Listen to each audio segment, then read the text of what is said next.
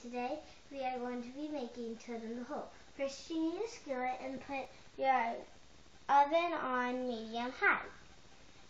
You need bread, eggs, and butter. You put butter lightly down on the on the end.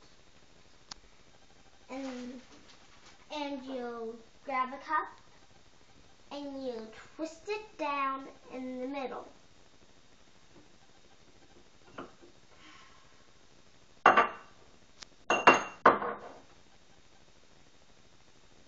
You put the buttered side on on the skillet and put the egg in the middle of the skillet.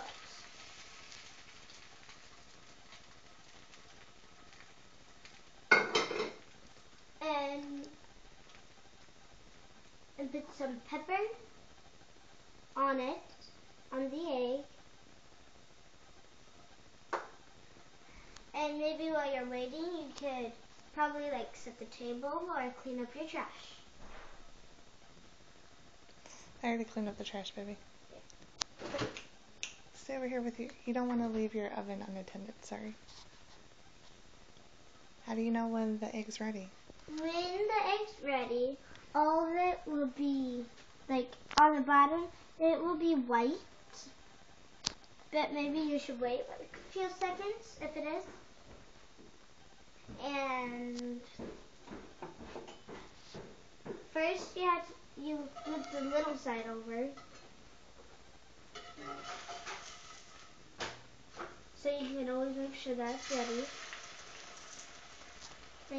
Then you the other side. You wait for a few seconds to make it heat it up.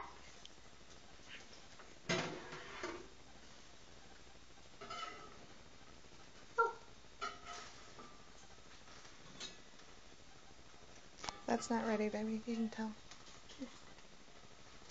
the little side, you can always do that, but you wait for a few more seconds for this one.